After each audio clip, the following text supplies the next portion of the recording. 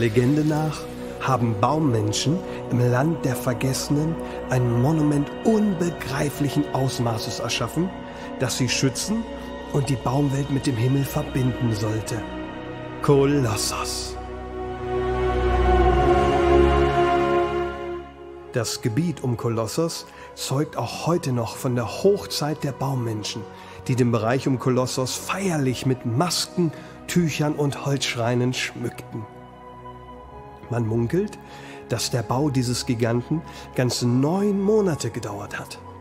Dabei wurden 90.000 Holzteile mit 80 Tonnen Schrauben und Muttern sowie 6 Tonnen Nägeln zu dieser einmaligen Holzkonstruktion verbunden.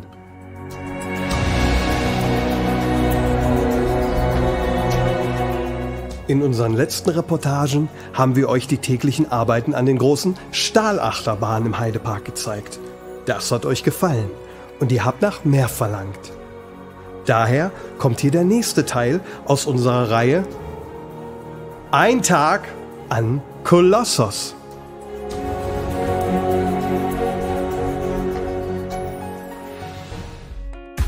Es ist 7 Uhr morgens, als wir an der Bahn antreffen. Mitglieder des Mechanikteams unterziehen einem der beiden Züge gerade seinen morgendlichen Check. Hierbei werden, wie bei den anderen Bahnen auch, wichtige Teile wie Räder, Fahrwerke, Schrauben und die GFK-Karosserie auf Auffälligkeiten untersucht. Bei den Rädern sind es zum Beispiel kleine Bläschen. Sind diese anfangs nicht schlimm, können sie nach längerer Zeit zum Ablösen der Bandage führen. Daher werden solche Räder sofort ausgetauscht. Überprüft werden auch die zwei Rücklaufsperren vorne und hinten unter dem Zug und der Kettenhaken, welcher sich immer unter dem ersten Wagen befindet. Nach der Überprüfung des Zuges geht es ins Lager von Kolossos. Ein Laufrad und ein Seitenrad müssen getauscht werden. Das Lager befindet sich direkt unterhalb der Station. Hier finden die Mechaniker sämtliche Ersatzteile wie Räder, Zylinder für die Bügel oder Sitzschalen.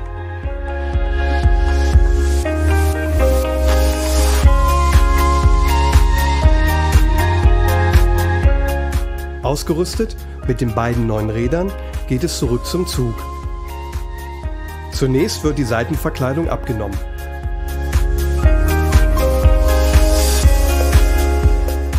Mit einem großen Drehmomentschlüssel wird der Bolzen gelöst.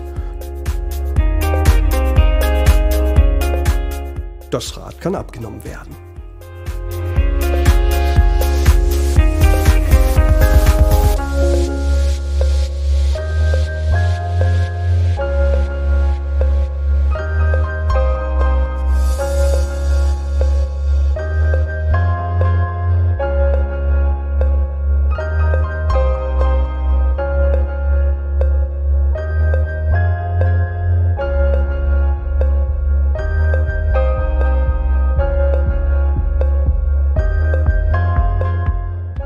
Beim Seitenrad genau das gleiche.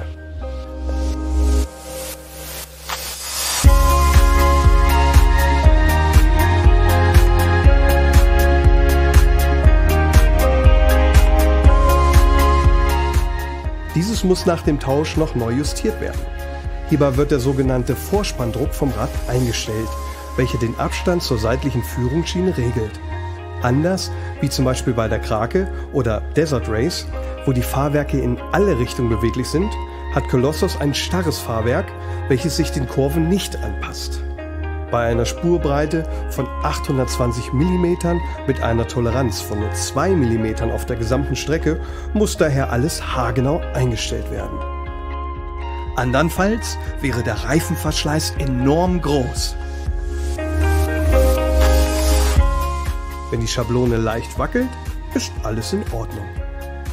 Alte Räder werden nicht weggeschmissen. Nachdem das Lager herausgenommen wurde, gehen die Reifen an eine Fachfirma, die diese neu beschichtet. Nach Abschluss der Arbeiten wird der Zug in die Station rangiert. Hier kann die Bügelkontrolle besser erfolgen. Gehalten werden die Bügel mit zwei Permanentzylindern. Beim Funktionstest werden die Bügel abwechselnd mit aktivem linken und rechten Zylinder überprüft. Der Check an den Zügen ist abgeschlossen.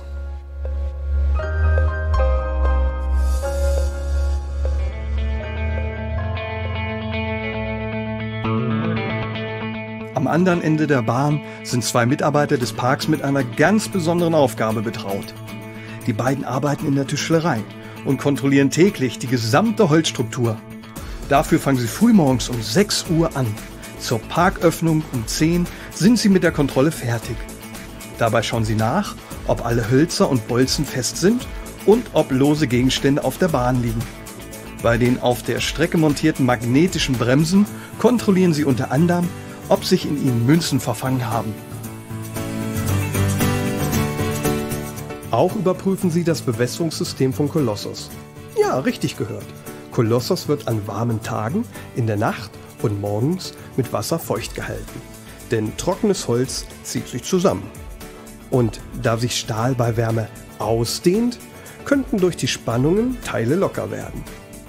Durch die Bewässerung wird dieses Spannungsverhältnis minimiert. In den letzten 15 Jahren hat sich hier allerhand an losen Gegenständen angefunden. Von Handys, Zahnprothesen und Uhren bis hin zu Unterwäsche war hier schon so ziemlich alles vertreten. Gesichert sind beide mit Sicherungsgeschirr an einer Sicherungsleine, die unterhalb des Handlaufs entlang der gesamten Bahn angebracht ist. Die Wartung ist abgeschlossen. Die ersten Besucher sind schon da und gelangen durch die neu gestaltete Warteschlange in die Station von Kolossos. Die Tore öffnen und die Fahrgäste nehmen Platz. Es folgt die Bügelkontrolle. Zunächst werden die Gurte überprüft. Auf dem Rückweg überprüfen die Bediener den richtigen Halt der Sicherheitsbügel. Dann erfolgt die Freigabe und die Fahrt beginnt.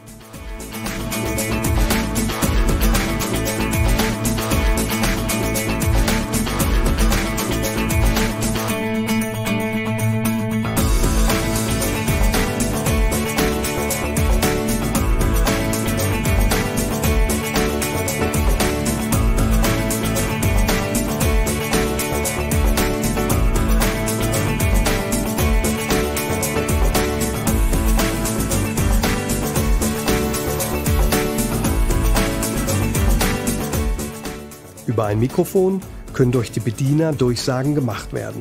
Von hier aus wird auch die Musik gesteuert. Am Ende des Tages wird die Anlage heruntergefahren. Ein Zug bleibt über Nacht in der Station, der andere wartet draußen in der Bremse. Nach Verschließen der Tore ist auch hier irgendwann Feierabend.